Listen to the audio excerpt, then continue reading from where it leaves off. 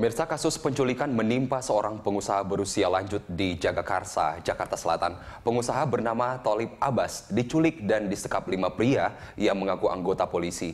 Ia dirantai dan dianiaya para pelaku yang meminta tebusan 400 juta rupiah. Kondisi korban penculikan diketahui oleh pihak keluarga dari foto yang dikirim oleh pelaku. Di detik.com disebutkan keluarga kemudian menyerahkan foto tersebut kepada polisi. Dalam foto terlihat kondisi korban yang disekap dengan tangan dirantai. Kepada detik.com, Kanit 2 Subdit Jatandras di Treskrimum Polda Metro Jaya, Kompol Tuku Arsya Kadafi menyatakan korban mengalami luka memar diduga dianiaya.